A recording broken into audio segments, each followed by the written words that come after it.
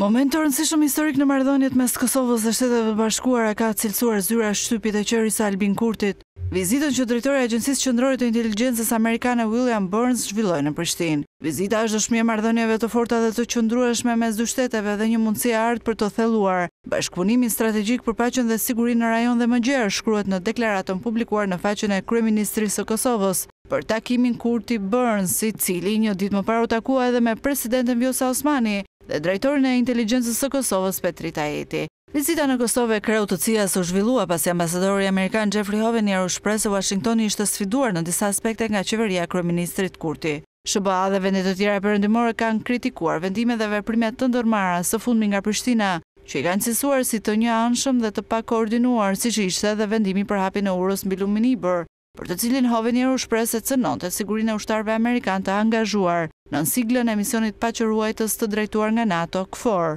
Para Kosovës, Burns ishte në Bosnjë dhe Serbi, por zyrtarët e këtyre dy shteteve nuk kanë bërë publike të dhëna apo informacione rreth takimeve që kanë patur me kreun e CIA-s.